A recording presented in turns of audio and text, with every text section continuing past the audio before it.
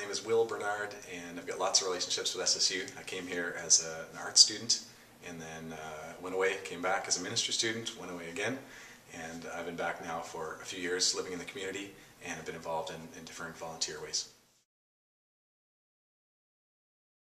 I work at a local company here in St. Stephen called Kindred Home Care, and uh, there I, I don't really have a title, but the thing I love to do there is, is innovation. So in my role, I look at lots of different processes that uh, we do and try and figure out better ways of doing it so that it's better quality and more efficient and, uh, and just making things things better, improving them. So um, looks different every day, and I love it.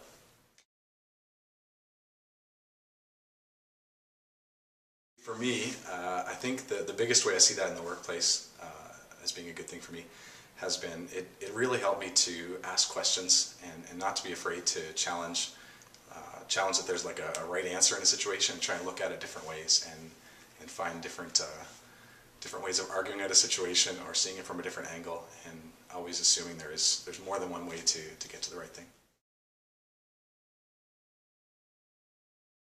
One of my favorite memories from being at SSU uh, was living in this small uh, kind of space where we're all squished together and the just some of the interesting social things that come up as result of that. So just like spontaneous dance parties in the hall or, or things like that that you just you wouldn't have come up with if you weren't sort of stuck together in one small space.